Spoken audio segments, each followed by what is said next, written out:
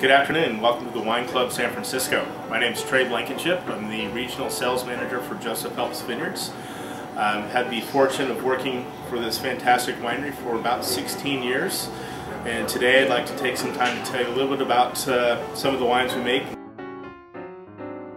First, I want to talk a little bit about our uh, 2010 Sauvignon Blanc.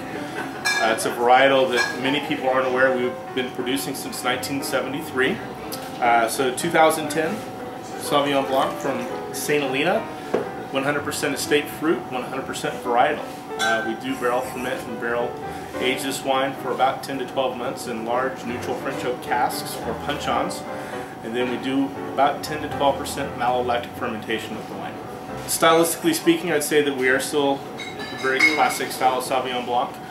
Uh, it has nice melon notes. It's uh, a little bit fuller and rounder on the palate.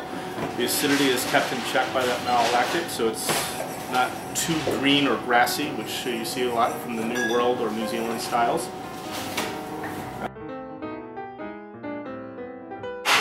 So the uh, 2007 Freestone Pinot Noir, uh, Heredia, the winemaker for us at Freestone, really tries to produce Pinot Noirs that are more of a minimalist style and that she creates wines that um, really speak of the site and soil and you really get the goût de terroir, a taste of the earth from these wines. Um, once again, in my opinion, a very classic style of Pinot Noir. Uh, some nice, really good red fruit, getting hints of cranberry and a little bit of rhubarb. Um, as it is the 2007 vintage, it is a little bit older, so it does have a little bit more um, of a bouquet starting to develop. You're getting good oak spice and uh, Brunel characteristics in the wine as well. Mm. Nice, bright spice in the wine. Sounds like probably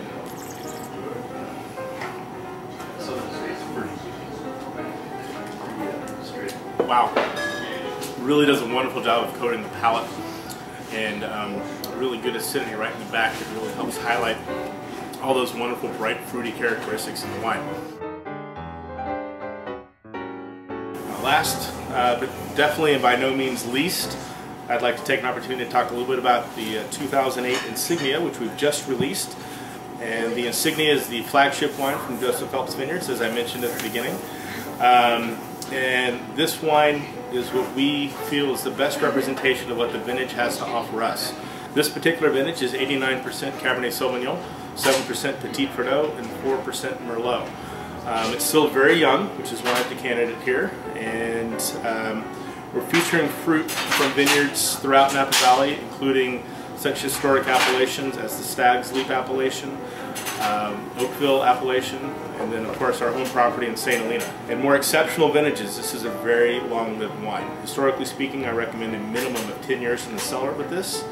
The 2008 um, it's got some really great structure to it, really good firm tannins that we get from the Petit Verdot and the Cabernet Sauvignon.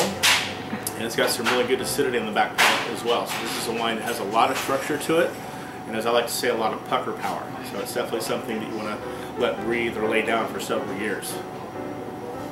Mm, lots of great cassis and dark fruit with this. There's some hints of blueberry as well.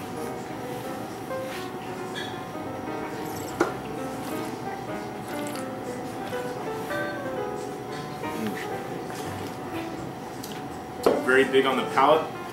Lots of really assertive tannins. Uh, definitely wine that screams for a nice, big, thick steak. Um, mm, fantastic stuff.